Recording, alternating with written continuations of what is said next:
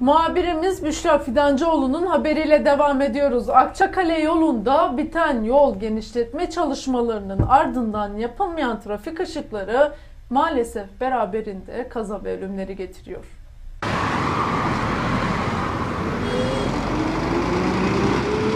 Şanlıurfa Büyükşehir Belediyesi trafik sorunlarını en aza indirmek ve daha emniyetli, konforlu bir ulaşım ağı sağlamak amacıyla Şanlıurfa Akçakale yolunda yol genişletme çalışması yaptı.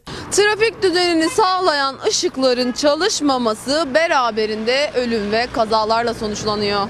Kaç ben burada kaç sefer şahidim evim burada 5-6 tane sefer kaza oldu. Sayın Cumhurbaşkanımız her imkanı veriyor belediyemize. Belediye de biliyorum teşekkür mü anlaşmıyor.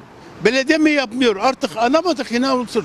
Bak ne iş, işaret var ne bir uyarı işareti var. 5 ay böyle burada 5 ay. Şu an arkamızda gördüğümüz ışık çalışmıyor. Üst- gördüğümüz ışık çalışmıyor. Burada da bir kırmızı ışık yapın. Burada da bir uya- uyarı ışık.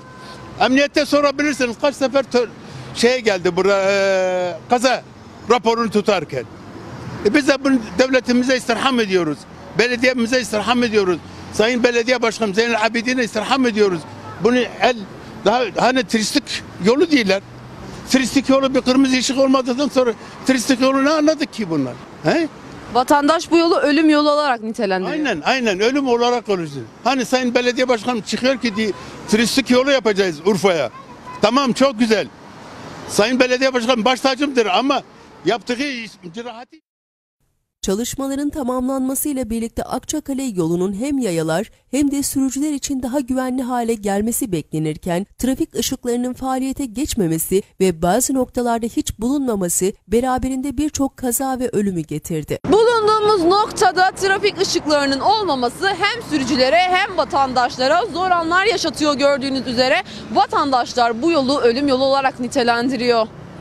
Az karşıdan karşıya geçtiniz. Burada trafik ışıkları yok. Zorluyor mu sizi? Tabii ki hem de çok.